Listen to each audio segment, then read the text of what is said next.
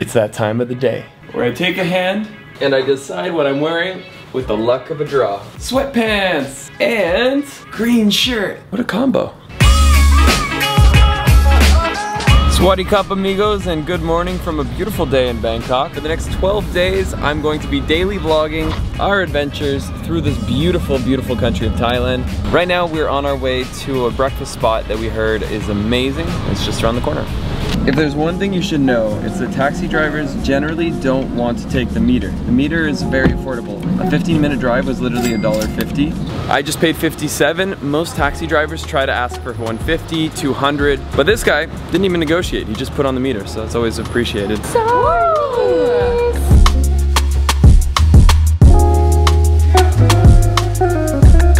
My budget is in peril after seeing the prices today, which is not good.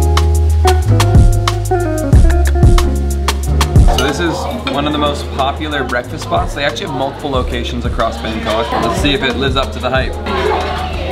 It's not like your typical breakfast omelet. It tastes a lot like Thai cooking. It's really good. This one is uh, sauerkraut, pastrami, and uh, homemade bagels. Wow. So excited. Uh, so Andrea was just sharing with me a solution to an age-old problem. You travel with multiple people, you don't always want to split the bill. A lot of times you just have someone pay and then you know, I'll get the next one, I'll get the next one. But what happens is you eventually on a long trip forget completely who got the next one. Like add a description, add how much it is. You can change the currency and then you say like who paid it. Like for example, like when maybe like you paid for something, so I add it. And so this is an app called Splitwise where you can basically have a ongoing tracker that shares all the expenses of the trip. I've got some bad news.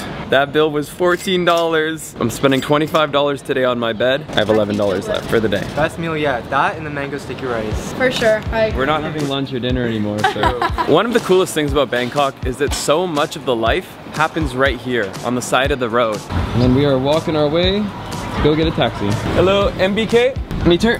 Thank you. All right, that's good news for us. We have a meter. Uh, it feels so good to be in this city. There's just so much life to it. No way. I'm rebooking our hotel and now it's even cheaper. Thank you so much. Okay, thank you. Taxi here was 70 baht, which is like $2. So this is one of the most unusual malls. Basically imagine a street vendor, but then having an entire mall filled with them. Knockoff shoes, you got your denim, flowy pants, ah shit, here we go again. I see the deals. It's also very famous that you can find like Chanel or Hermes purses and what they have on the front display is the low quality stuff. If you get to know the owners, the shop owners, they actually open up back doors and they'll take you to like the super high-end knockoffs. That it could be like a thousand dollars for like a basically identical to an Hermes purse. That's only what I've heard. I've actually never experienced it. For real though, they have some su super nice stuff. I might do some shopping here today. We'll see. Then again, I've only got $11 left to my name, so how MBK works is the higher you go up into this monster, the cheaper and cheaper the things get. So like downstairs is kind of like the closest to like the high-end stores. And then as you start to venture, you start to get the speakers that when you turn them on, it goes, pairing, Bluetooth mode.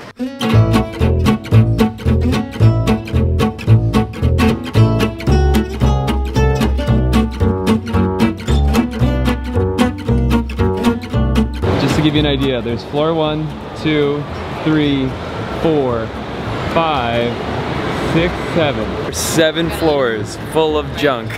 And some good stuff, a lot of good stuff too. But it's uh, you'll start to see some patterns. Basically everyone sells mostly the same thing. Yeah, I want something more dangerous. Alright, Ruby had a really good idea.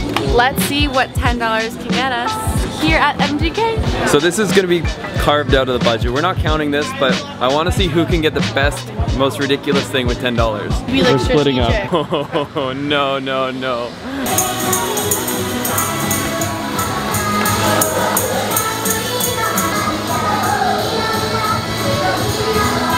And here it is, the holy grail, Thai pants.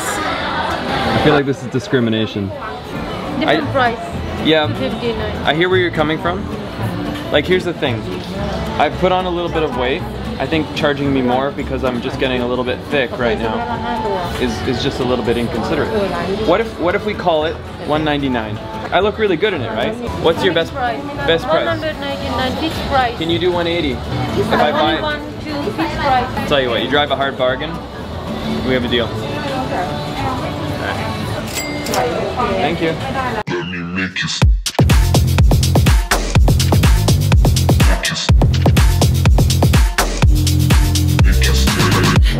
I'm a local now. Once you go to floor four, this is where things get real. Ryan just said something so true. He's like, every floor has a different smell. This has a very strange smell to it, like burnt plastic or something, I don't know. All right, I'm not gonna lie. There is a day coming where we are all going to be screwed when this is a camera. All of these are spy cameras and that freaks the crap out of me because pretty much everywhere I go, I stay in hotels. So when I see cameras getting smaller and smaller, I'm like, there's gonna come a day when one of my tapes gets leaked. On the bright side, your videos will also be leaked, so I guess we're in it together. I've never felt so popular. Every shop you walk past, you're getting catcalled. They're like, oh, come in, can I help you? Can I show you what you need? What are you looking for? I'm like, bro, if I knew that answer, I wouldn't be an MBK. I am searching for everything and anything. Okay. What's your favorite product in this store? It's really good. It's original.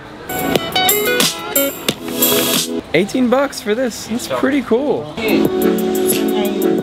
Lovely summer.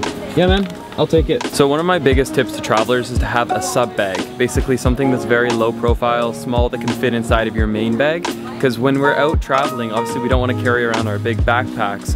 So you can shove this one inside, barely take up any space from your backpack. And uh, this one here was only 20 $20 roughly. Hey Guys! Can you guys guess what I uh, what I chose? Yeah. Pants? Is that all you got? What do you mean is that all I got? I got an egg sweater. I got this hat because I don't have a cute girly hat for the beach. And this sweater. Is that all that all that was $10? Yeah. Oh my god, guys, every time I try to hold a meetup here, you guys always leak the location. It's unbelievable. Guys, I made it. Guys, you're looking at the wrong people. That's not Lost LeBlanc. Do you, do you want to take a photo?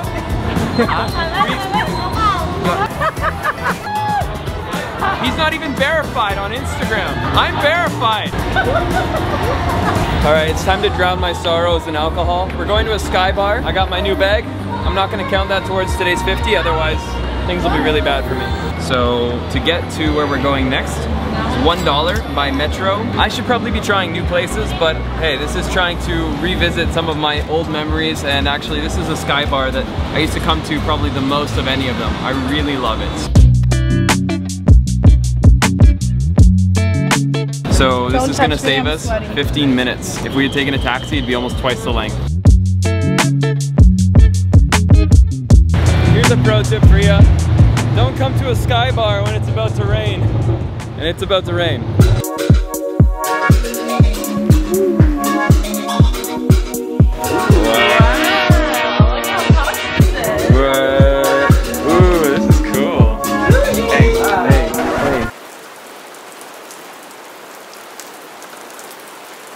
All right, bit of a mission failure today. They won't let us go to the top of the sky bar, so we're being rained out today. But I still got to have an amazing view. The 45th floor, looking over Sukhumvit. Sukhumvit is this crazy, crazy artery that connects the whole city with the metro station. And you can see how this thing just runs all the way down into the city. So tonight we've come here to Octave Sky Bar and we're actually meeting a fellow content creator. Chloe's actually from Burma or Myanmar. She was telling us that next time we're in this area, we're gonna have to plan a trip out to Burma, which I am so down for. It's just an incredible destination, so, so different than most other places in the world. for um, fitness programs and everything related to fitness, I'm here for you. Cheers. And I've now officially eliminated all my money for today. That's not working out. I had a work day today that I didn't really think was worth filming, but I made some massive progress on the 10 Day Creator Challenge, which is a program I'm launching in just two more days. You're somebody that's been dreaming up becoming a creator, but you don't know where to start. Well, I will show you how to do it for $47, and I guarantee you, you will get 10,000 views within your first 10 videos or money back. So tonight we are getting a traditional Thai massage and I'm excited because this is a different kind of massage. Which can also be dangerous in Thailand, but uh... Andrea, Yeah. since everyone's like kind of considering dating you, should you show the feet? God, Christian! I have no words for this. Stop. Stop. So as Ruby said, today we're doing a Thai massage and the first time I ever got one of these, I literally felt like I was in a car accident. Like the next day I was so destroyed. Everything was painful and sore. So I have not done one like since then. I don't know what I'm doing. All right, so this is different. I'm getting dressed into these red robes. Am I supposed to remove my boxers? I don't What's up, ladies? How we doing? We loose or we limber yet? I can't believe we're having a massage together all in one room. One way to describe a Thai massage, it's like a massage of a thousand daggers. A lot of elbow action directly into your muscle groups, like your neck, your back, your thighs. He massaged me with his heel by basically like sitting on the ground and digging it into me, into like the bottom of my leg. And then to like finish it all off, he stood on me and like walked around my back, my legs. Honestly, it's like a really nice full body stretch. I was manhandled completely. I'm being punched, I'm being punched, I'm being stretched. I had legs on me like this. I was like, what is going on right now? Like, Did you like it though? I did, I did. In a weird way. Wow. Oh my gosh. This place looks so good. Let's try it. I mean, it's more money than I have anymore, but this is where the magic happens, guys. They've got all this delicious food on display. You can see here, they work a lot with egg noodles, which is delicious. We got prawns and pork wonton. The dish that I've now ordered is in total about $1.60, maybe $1.75. It smells good, it looks good. This place looks like they've got some history too. And you just know it's gonna be good when you got photos like that on the wall. I mean, come on. That's like a proud mom right there. Just like, come on in, son. I've made you some food. Oh my god, it's ready. Thank you. Yeah. Thank you. This was like literally a minute later. Oh my god, this looks so good. Very, very simple. Really good. That was a missing ingredient, I think. The broth. Oh, now we're talking. Now we're talking. Yeah. So different, but good. That's so nice. He bought this for us. it's yeah. Sweet. So it's a sweet drink. A sweet drink, yeah. Oh. Welcome to Thailand. Thank, you. so much. That's very kind of you. Wow. Oh, my new favorite tea. I'm gonna buy it now. I'm gonna I'm gonna tea it now. It's a part of my tea collection. It's a plant. Wow. It's like sweet chamomile. That's good. Wonderful. Take care, man. That's really cool. He was just seeing how stoked we were on the food and how much fun we were having and he felt the need to share a bit of his culture with us. Look, inevitably it's gonna be some sort of a food video at this point, but mango sticky rice, that's the spot we went to the other day. And right next to it, we're gonna try this out. I think I want uh, milk tea, this one here. So the Thai flavor palette, they love spice and they love sugar even more. So you have to kind of go minimal on the sugar or the sweetening. Even the can of Coke, like it's 120 calories in Canada, 110. It's 160 calories here because it's all made up by the sugar difference. This place is called MoMA's. And that right there is 70 cents. Bye guys. Bye. Hello Hi. yes Yes. กันไหนคนไทยพูดที่เขาฝรั่งนั่งอยู่ในรถ Hello Hello How can I help you? Hello where are you going I'm going to Chongnonsi. ช่องนันซีอ่าซอยซอยวัดซอยวัด Uh, ซอย ห้องนนทรีย์นี่มันพระรามสี่ So where we're going right now is we're going to my old residency where I used to live.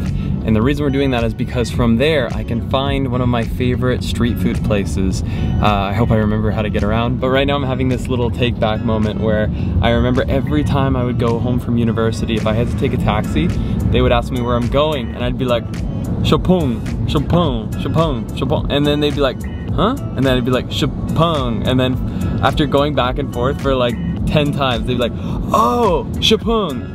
And I was like, yes, that's what I tried to say. I literally couldn't hear the difference. And then every time, I'd say every third or fourth time I'd say it, they would look at me like, oh, very dangerous, very dangerous. So wherever we lived, I think was dangerous. But anyways, nothing ever went wrong. There it is. This is Memory Central right here. Nonsi Residence, where I lived for like four months when I first became an adult, I'd say. It's when I first had independence at least. So many memories. I'm so curious if the restaurant is still in here. This is where I would eat food pretty much every day, at least one meal. It's all gone. The restaurant's gone. What? Change sucks. I'm gonna be taking them to one of my favorite street food spots. Now, if that has closed, then I'm flying home. I'm going back to Bali. This isn't good. I don't really remember exactly where it was, but from my memory, I think we should have seen it by now. This is my last hope. If it's not right up here, it's all torn down and gone. I'm having an existential crisis right now. oh my God, I think I see it. It's still there, thank God. This is a, a hidden gem, like truly, truly one of the local spots, and it's still here. Yes! All right, let's go. It's pretty much the exact same thing we had before. We are literally Are you sure? Yeah. Wow, look at that cauldron though. This is the other thing you have to try. Chicken uh, with rice and the cucumber, this one here. The portions aren't that big, so I would always go to this place and next door to it, and I'd get one of each. The chicken and the egg noodle pork. Oh yeah, that's the good stuff. This looks yummy. I'm Yeah. excited to try some authentic street food that you used to have when you were a little baby. Yeah, I know I was. Really cool. Literally. That is a portion though. I can't with all this food right now. Thank you. This stuff is so good. It's like a spice sauce. It's just like I remember. Commit to the sauce. Mm, Right? And you ate this every day? Every day. I'm shocked. I saw this and I, I was like, it's really simple. Like, why are you freaking out about this? The sauces make it all so good. Yeah. When you get the $1.50 rice and chicken, it comes with this broth. Like, like, like, it's like I went over $50 today, but don't at me. Let me make you Ah, shit. Here we go again. Fan of the day.